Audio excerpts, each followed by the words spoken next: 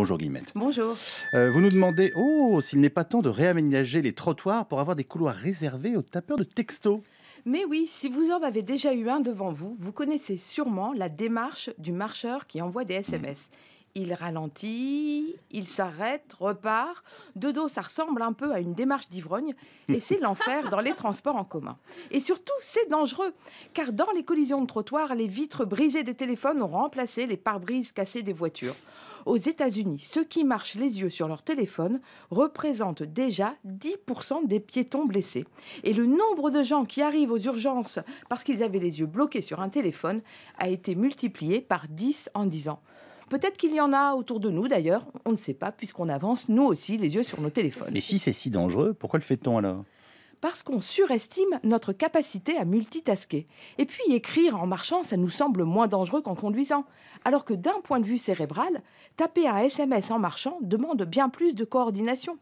Des chercheurs australiens ont suivi et filmé 26 personnes vissées à leur téléphone et on leur a demandé de lire ou d'écrire en marchant.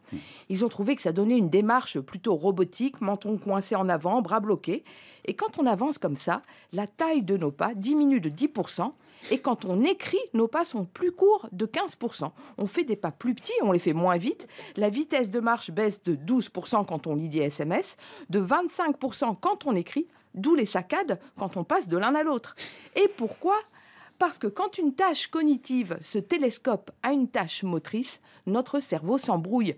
Et oui, levez la main si vous avez déjà baissé la radio en voiture pour faire un créneau. Enfin, ne levez pas les mains en conduisant non plus, hein, parce que sérieusement, qu'est-ce qu'on peut faire?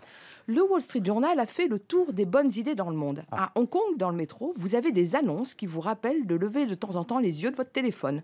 Sur le campus de l'université de l'Utah aux États-Unis, on a découpé les escaliers en trois zones marcheurs, coureurs, marcheurs à téléphone.